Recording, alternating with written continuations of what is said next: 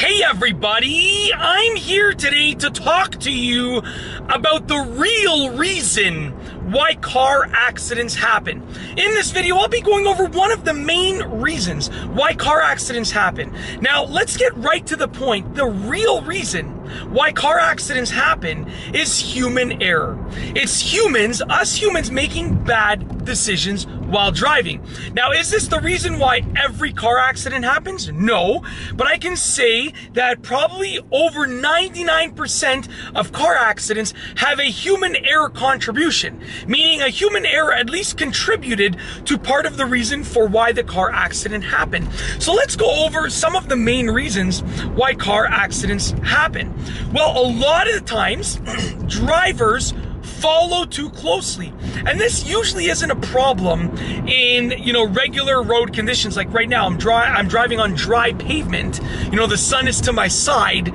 You know, in regular road conditions, ideal road conditions, I should say, it's not really a huge problem. But it seems like as soon as it starts to rain or snow or it's foggy or the sun is shining in your eyes, whenever there is something that turns it into an unideal or a road condition that is not ideal, it seems that drivers keep that same following distance when they should actually increase the following distance. So that is a human error. Now, if you're following too closely, or if someone is following too closely to the car in front of them, and they end up rear-ending that car or, or getting into an accident because they're following too closely, or if following too closely at least contributed to the accident in one way or another, guess what? That is human error. If they could have left a greater following distance, but they decided to follow too closely, that's human error. One of the main reasons right there.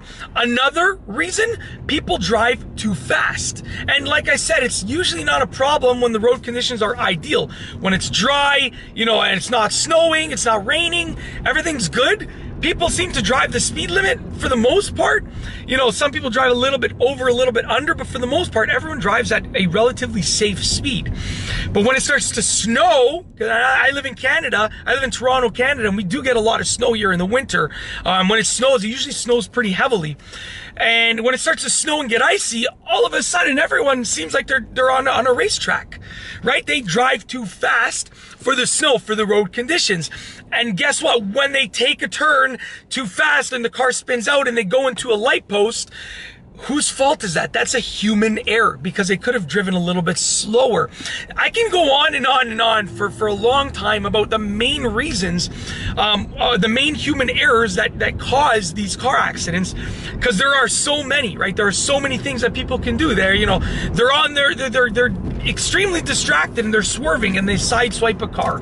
They don't make certain that there's no oncoming traffic before they make a left across an intersection and they get hit because they basically turned in front of a car, right? They don't pay attention to the proper rules of the right of way, and then you know they go at the wrong time and they hit each other because some they weren't sure about the right of way. Like I can go on and on and on and on and on, but what it comes down to is this: human error is and probably will be for a very long time the real reason why car accidents happen. Now, there is a small percentage of car accidents, I would say well under 1% of car accidents that happen because of something that is just completely not in your control. You're driving down the street and you know a light post just just falls in front of your car or a tree just falls in front of your car and, and you end up getting into an accident with the tree with the light post whatever the case is right or swerving and getting, getting into an accident to avoid hitting that light post there are things that happen that are completely not in your control. And humans do make good decisions oftentimes in those situations. But that's less than 1% of, of the accidents we're talking about. When I'm talking about 99 plus percent of accidents, I'm speaking about just pure, raw, human error. And it's as simple as that. And I just wanted to make this video to tell you about the real reason why car accidents happen. And that's it. I really hope you've enjoyed this little relatively quick and simple video. If you liked the video, be sure to give it a thumbs up. Let me know what you think down below as a comment. And of course, be sure to subscribe for more great car and driving videos just like this one. And that's all I have for you today. Thanks for watching.